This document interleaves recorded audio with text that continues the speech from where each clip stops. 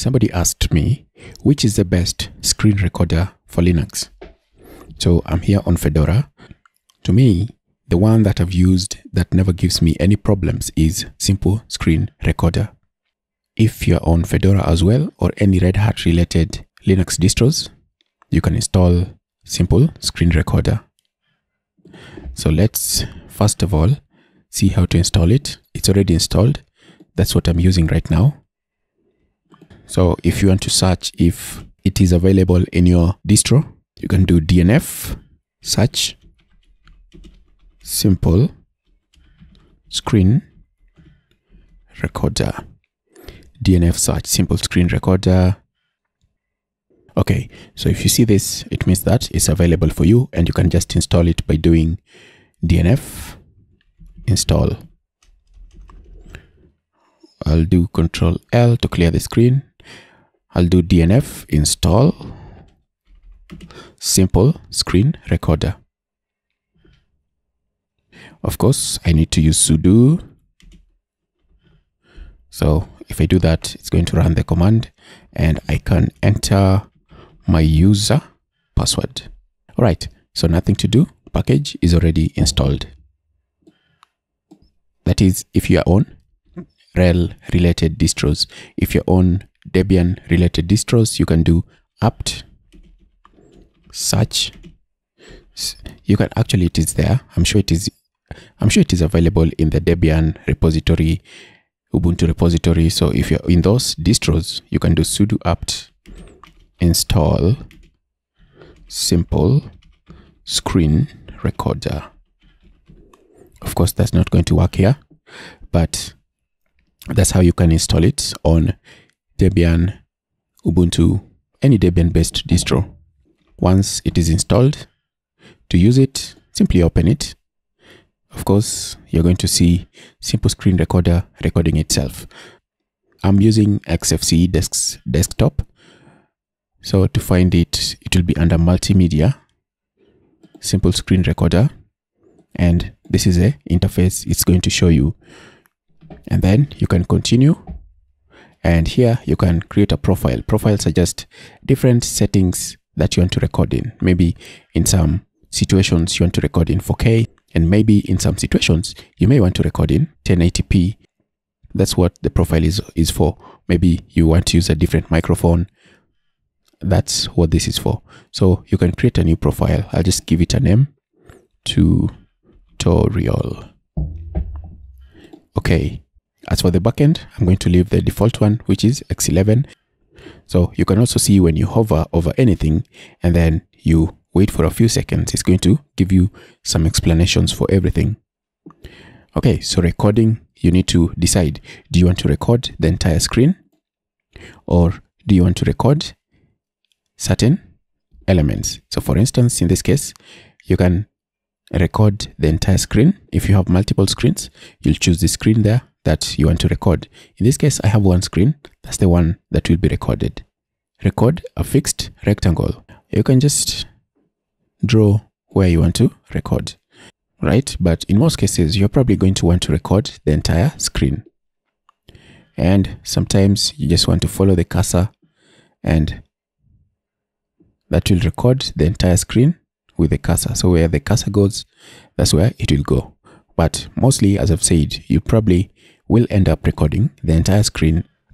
And then the frame rate you can say you want to record 60 if you want to record 120 you can record 120 fps of course the more the fps the higher the cpu usage. Higher frame rates use more cpu time. So you can scale the video. You can see here we are recording the screen at 1080p but if I wanted to scale it down so that the final video will be 480p, that's something I can do. And then of course you want to record the cursor. Audio input, this is the most important part of your recording session. You will need to, first of all, figure out which microphone you want to use. So the backend, you'll just use the default one. In this case, Pulse Audio is the default. And last time I used Ubuntu, I saw Pulse Audio was also the default. Whichever one is the default one, just use that. Don't change that setting. And then the source, this is a microphone that you're going to use. In my case, you can see I have these microphones, but this is the one I have selected to use. So before you record, of course, you're going to, first of all, you're going to do a test recording to make sure that your audio is working. Always, always do a test recording to make sure that the audio is working to see if the mic is working. And you're going to see that in a moment. Before I leave this page, so I'm on XFCE. If you're using GNOME desktop, on GNOME, there's a setting for audio. Go to your setting for audio. Make sure the microphone you've selected here is the one that is being used as a default. In my case, on XFCE, I can check that right here. So if I click on this, you can see that down here, the microphone that I'm using here is the same microphone that is being selected here as the default. And that's what you want to do. Make sure on your settings, on your audio settings, you choose the right microphone. Click continue. The next item here is where you want to save the file. You can browse. You can choose a folder where you want to store your recordings. You want to store the recordings. So I can select that and then save and then separate file per segment you can add a timestamp this is important. It helps you to know which was the last recording.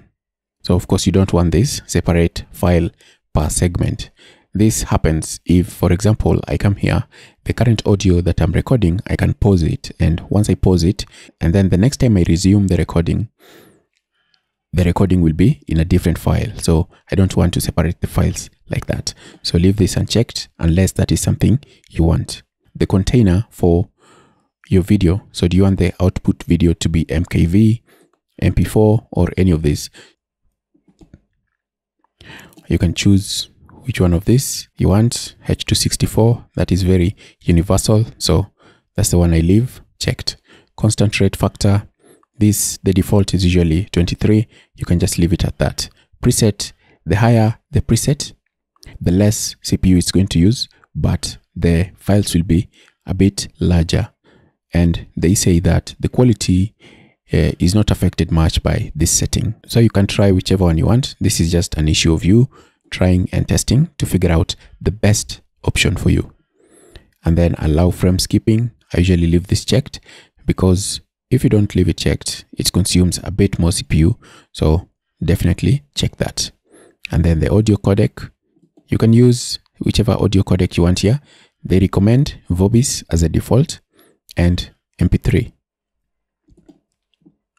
Bitrate in kilobytes per second. Of course, if you want your audio quality to be better, you can do it.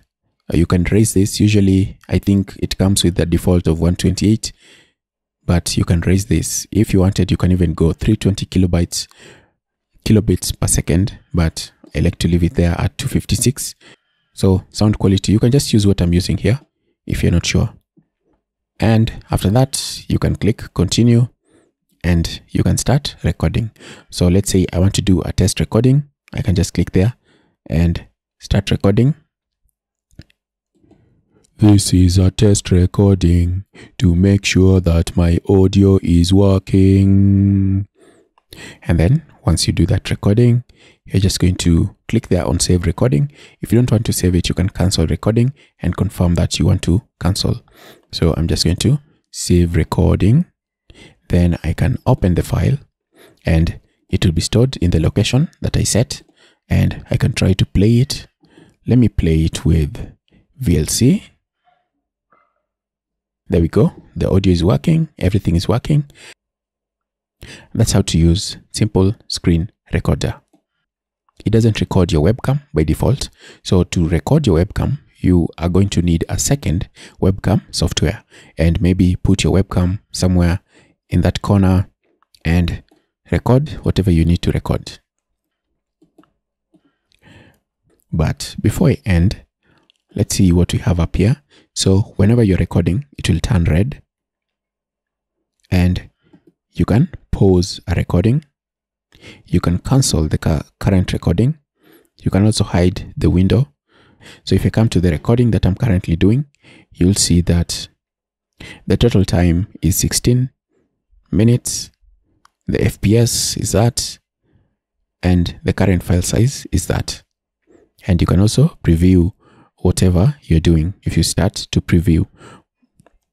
All right, that should end this video. If you need a simple recorder, a simple screen recorder to record what you're doing on your desktop, maybe you're doing demonstrations, software demos, illustrations, you can use simple screen recorder and this is how to use it. That's it for this one. Until next time.